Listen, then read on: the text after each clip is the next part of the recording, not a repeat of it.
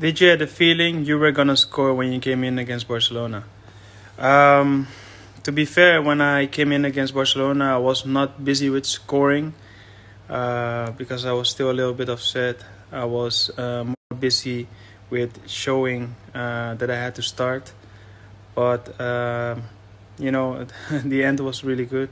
Um, I end up scoring two goals and had a great impact on the game. But my first thought was not um, that I'm gonna score. It was more that uh, I'm gonna show that I had to start.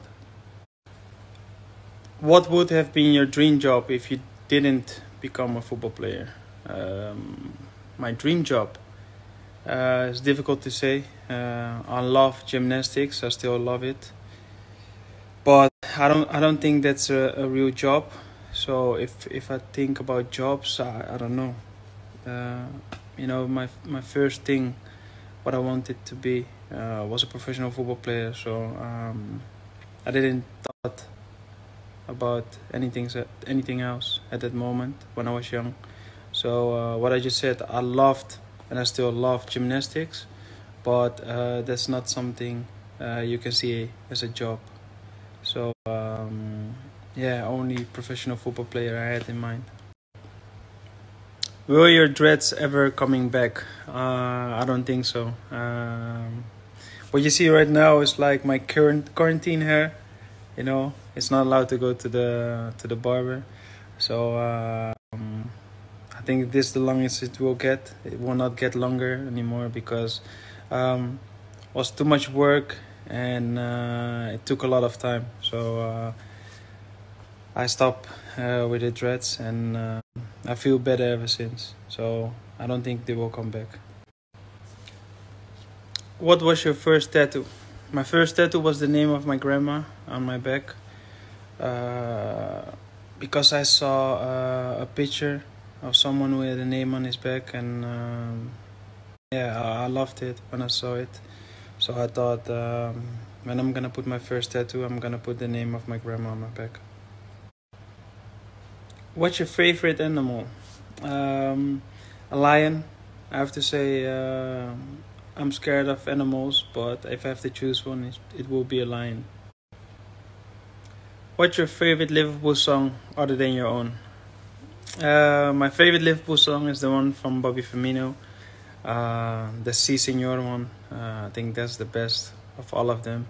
Uh, everything is right. Uh, the lyrics, the rhythm, the song, the way the supporters sing sing it. So um, I think that's the best one.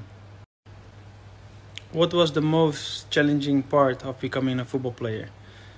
Um, um, I think the toughest was um, stay commitment uh, to give everything because uh, I turned a professional football player on a young age and um, on that moment um, I didn't have a chance to to be young because uh, you know what the people or the the children of my age did I couldn't do because I had to uh, train a lot I had to rest a lot and I had to play a lot of games train a lot. So uh, the things that my uh, people from my age did at that moment uh, I couldn't do. And that was sometimes it was really tough because um, you know when they went out you want to go out also with them but it was not possible because you had you have a game in the weekend.